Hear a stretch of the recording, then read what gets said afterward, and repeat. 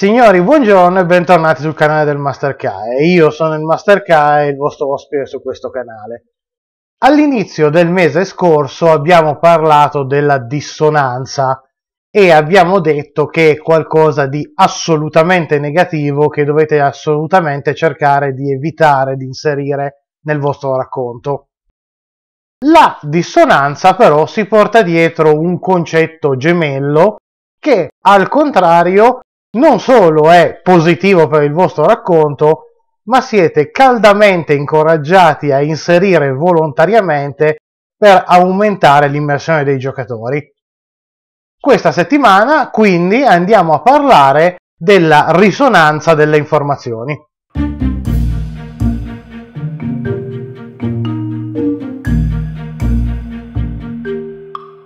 Per chi si fosse perso il video del mese scorso, diciamo che la dissonanza è quando due elementi del gioco vanno a fornire informazioni contrastanti ai giocatori. Per chi non avesse visto il video e lo volesse recuperare, vi metto il link qua in alto. Ora, la risonanza, come dicevo, è appunto il concetto contrario, quando due elementi distinti del gioco vanno a fornire la stessa informazione ai giocatori. Se da una parte il master non deve mai inserire effetti dissonanti all'interno del suo racconto, dall'altra il master è caldamente incoraggiato a inserire effetti di risonanza nella storia che sta raccontando. Anzi, dovrebbe attivamente sforzarsi di sottolineare i concetti più importanti all'interno della quest proprio con un effetto di risonanza. Il modo migliore per farlo ovviamente è lo show don't tell, anche di quello abbiamo parlato in un video precedente, anche di quello vi metto il link qua in alto se dovete andarlo a recuperare. Però,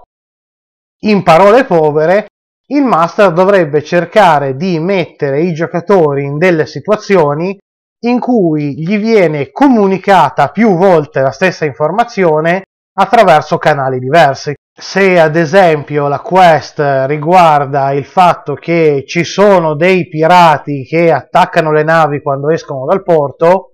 i giocatori al porto potrebbero vedere dei soldati che perquisiscono le navi in cerca di merce di contrabbando,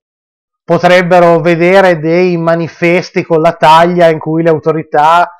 stanno attivamente ricercando i pirati e magari quando vanno nella locanda al molo scopriranno che i prezzi sono aumentati perché l'attività dei pirati rende più difficile far arrivare merce in città. Questi tre elementi, le guardie che perquisiscono le navi, la manifesti di taglia attaccati alle pareti e i prezzi aumentati alla locanda, di per sé sono tre momenti della quest distinti, ma in realtà stanno comunicando tutti ai giocatori la stessa informazione, cioè i pirati stanno causando dei problemi. Come nel caso della dissonanza, qualunque elemento può entrare in risonanza con qualunque altro elemento all'interno del gioco, che sia un elemento della meccanica del gioco, una regola, una capacità speciale, comunque una delle componenti numeriche del gioco, mettiamola così, come può essere un elemento della storia o della lore che c'è dietro quella storia. Prendiamo come esempio gli elfi di Dungeons and Dragons, che dovrebbe essere qualcosa di conosciuto alla maggior parte almeno.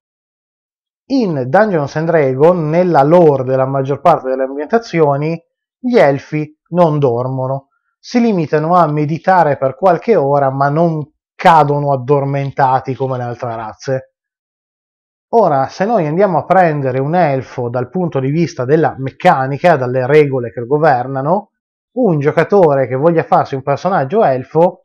vedrà che sulla sua scheda c'è proprio una regola che dice che lui non deve dormire per 8 ore per riposare, gliene bastano due. Tra l'altro ci sarà anche un'altra regola che gli dà un bonus ai tiri salvezza contro gli effetti di sonno queste due regole sono in risonanza tra di loro.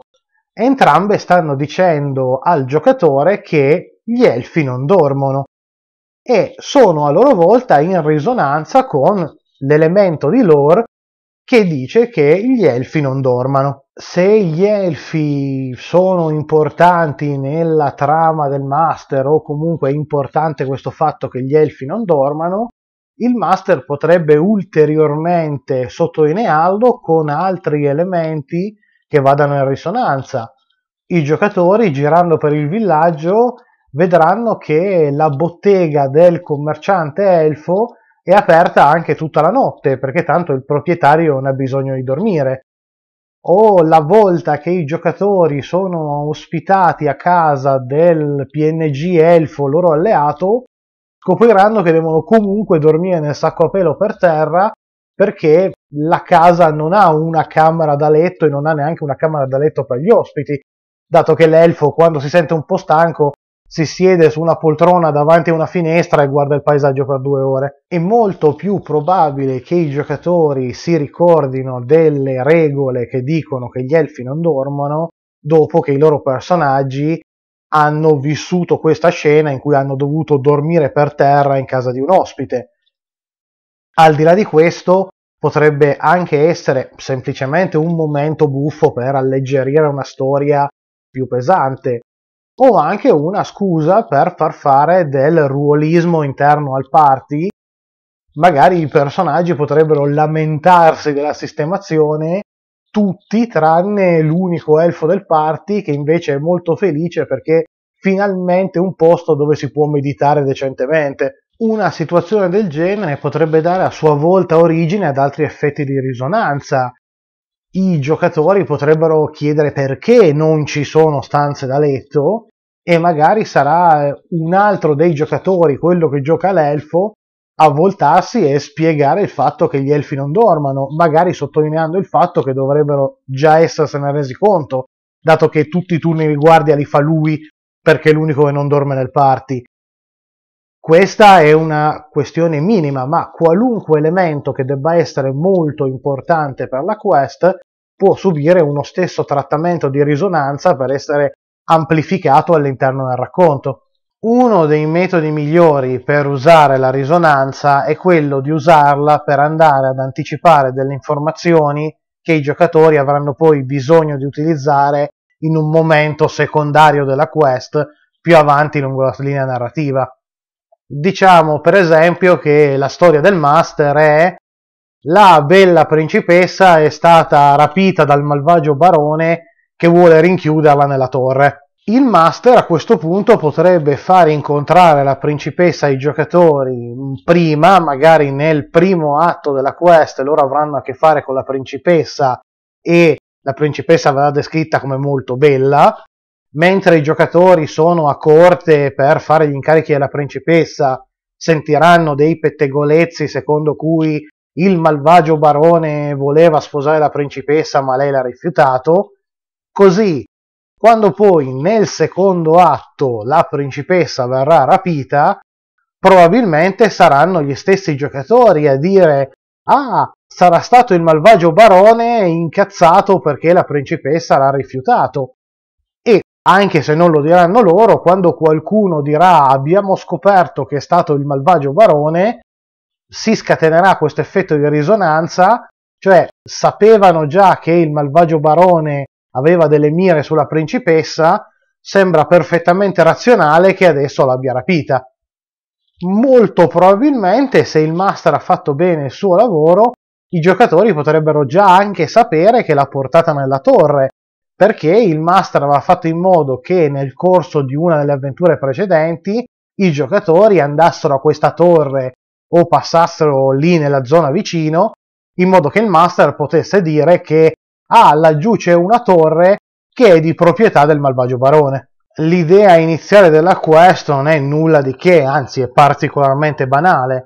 però usando bene gli effetti di risonanza il master può venderla ai giocatori in maniera molto più verosimile e può anche fare in modo che i giocatori ricostruiscano buona parte della trama da soli senza bisogno dell'intervento del master in modo da gratificare i giocatori che sono arrivati da soli alla soluzione e quindi rendere la quest molto apprezzata anche se di per sé la, la linea narrativa principale non è tutto sto granché. Il master può sfruttare questi effetti di risonanza anche per motivi molto più pratici, ad esempio per comunicare direttamente una meccanica del gioco o una questione rilevante all'interno delle regole senza però andare a spezzare l'immersione dei suoi giocatori senza infrangere la quarta parete e parlare proprio di regole magari durante un momento di interpretazione. Nel video sulla dissonanza abbiamo visto quanto nel D20 System sia banale resuscitare i morti. Ovviamente resuscitare un personaggio morto è un'azione meccanica all'interno del gioco. Il giocatore dovrà usare una determinata abilità, l'incantesimo di resurrezione, bruciarsi delle risorse che sono i soldi per ripristinare la vita di un alleato ucciso. Questo è appunto il livello più basso, il livello della meccanica del gioco. Però il master potrebbe introdurre questo concetto magari a un gruppo di giocatori novizi usando un effetto di risonanza che è molto più facile che ricordino. Magari in una delle loro prime avventure assisteranno alla resurrezione di qualche PNG. Magari saranno proprio loro quelli che dovranno scortare il diamantone che fa da componente materiale per l'incantesimo fino alla chiesa dove l'incantesimo verrà lanciato. O magari prima di partire per il loro primo dungeon verranno fermati dal chierico del villaggio che gli chiederà in maniera molto diretta se non vogliono farsi un'assicurazione di resurrezione nel caso uno di loro muoia. In un'ambientazione di DD classico sono delle situazioni che potrebbero normalmente accadere, perfettamente verosimili, e in questo modo il master ha spiegato una meccanica di gioco senza mai fare riferimento diretto alle regole. Ci sono ovviamente tecniche specifiche per rendere bene la risonanza all'interno della propria quest e fare in modo che sia più apprezzata anche dai giocatori e fare in modo che sia più incisiva all'interno della storia. Però le spiegheremo in un altro video, sarebbero troppo lunghe, più avanti, dobbiamo prima parlare di altri argomenti. Volevo far uscire questo video prima intanto per anticipare l'argomento e chiarire il concetto e poi ovviamente perché mi servirà come risonanza quando usciranno quegli altri video. Eh? Diciamo che per questo video è tutto, ovviamente mi piacerebbe sapere da voi se già conoscevate il concetto di risonanza, se lo utilizzavate, come lo utilizzate, se non lo utilizzate perché non lo utilizzate, scrivete tutto nei commenti qua sotto. Se il video vi è piaciuto mettete un like e condividetelo che aiuta a crescere il canale. Schiacciate la campanella se non volete perdervi le notifiche io sono il Master Kae, noi ci vediamo al prossimo video.